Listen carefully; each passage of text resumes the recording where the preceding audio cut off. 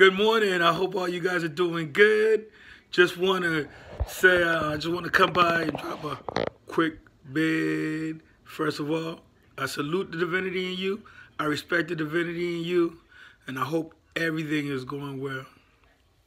So, quick vid. Hope you guys are having a great Sunday. Go watch the football. Do what it is that you do. Go read. Go study. Do something. But um, woke up this morning and what I heard was finish what you start. Whatever you start, guys, finish it. Complete it. You know, when you were kids and you would go to school or you would uh, go home after school and you would have to do your homework, finish what you start. You, didn't, you can't go outside and play before you do your homework. You got to finish your homework before you go outside and, and play. All right?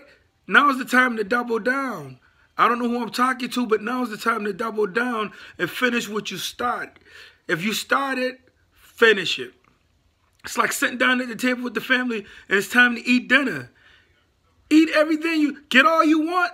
This was the rule in my house growing up. Get all you want, eat all you can get, eat all you get. Everything you can get, you can have as much as you want, but make sure you eat everything you get. But all I'm saying is finish what you start. Double down, people. You are the power. Don't forget to like, hit the notification bell, and subscribe for the spanking new vids. I appreciate you guys. Thanks for rocking with me. Thanks for showing up. Remember, we don't care about these haters because we are infinite creators. Until the next time, finish what you start. Peace.